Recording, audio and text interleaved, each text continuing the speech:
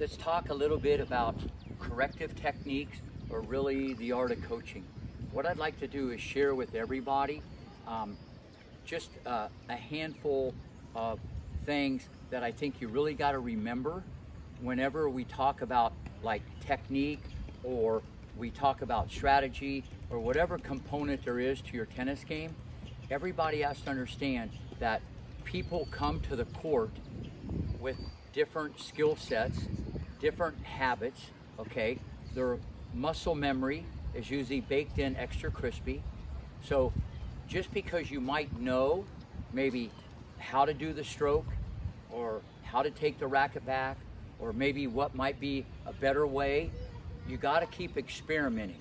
You got to keep experimenting and go through every door, go through the window, even if you have to go down the chimney to figure out a way to correct the problem for that person on that day, that hour, that second, that minute. I mean, that is coaching. It's not one size fits all. And this is where it's tricky. Even with the ATP forehand or the ATP backhand or, you know, what you read in a book or what you heard or how you were taught, okay, this is very tricky because everybody comes with habits. Most of the time, they're bad habits. A lot of times they're good habits, but it's very difficult to figure out how do I correct that problem?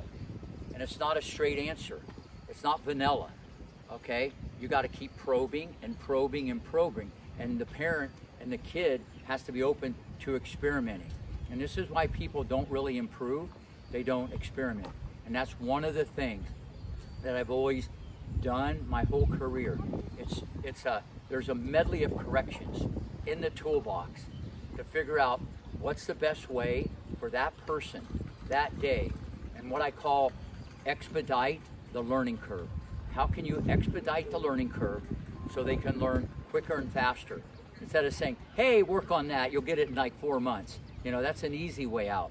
And you got to keep like experimenting. And sometimes you have to reverse engineer everything, like myself and Dr. Brian Gordon can do.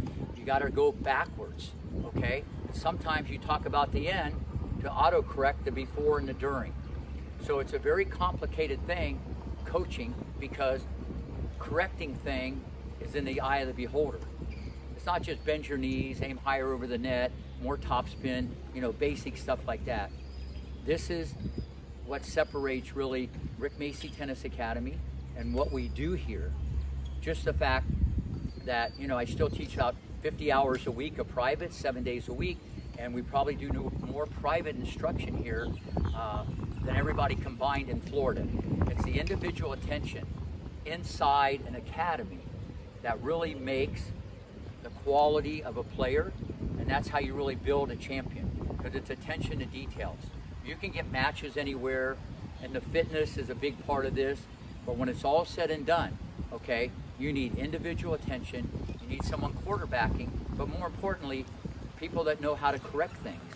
And it's not just basic tips, all right?